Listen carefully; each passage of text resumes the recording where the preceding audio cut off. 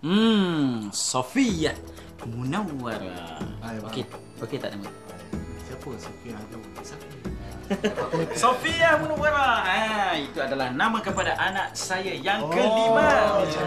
Alhamdulillah. Saya memang syukur sangat alhamdulillah kan kata nak anak yang kelima ni anak perempuan alhamdulillah. Lima dah. Lima. Eh? Lima. Ah. Saya tiga tu semua hero. Gitu kan. Alhamdulillah dapat seorang anak perempuan dan sebenarnya kalau kita tanya seorang-seorang ni ha berapa orang anak abang abang abang dah kahwin dah? Dah. Berapa? Ah. Tepatlah dengan hadis Rasulullah Hmm. mengatakan Rasulullah yang suka umatnya yang ramai. Ah, Betul. Dan anak-anak kita ni pesan Rasul, dia ni ibarat kain putih dan kitalah yang mencorakkannya. Ya, betul. Ha, sama ada dia nak kita nak corak putih ke hitam ke kuning Purple, ke. purple. Purple pada. Purple pada. Ha, dan Satu lagi, Aha. kalau anda yang ingin mengetahui tip-tip menjaga Anak-anak. karenah anak-anak, Yeah. maka kita sama-sama menghayati sebuah lagu yang berjudul Anugerah. daripada Al-Mughirah bin Syu'bah radhiyallahu anhu Rasulullah sallallahu alaihi wasallam bersabda Allah mengharamkan kamu menderhaka kepada ibu-ibu membunuh anak-anak dan menahan hak orang lain Allah membenci orang yang suka berkata sia-sia terlalu banyak menyoal dan membuang harta. Riwayat Bukhari.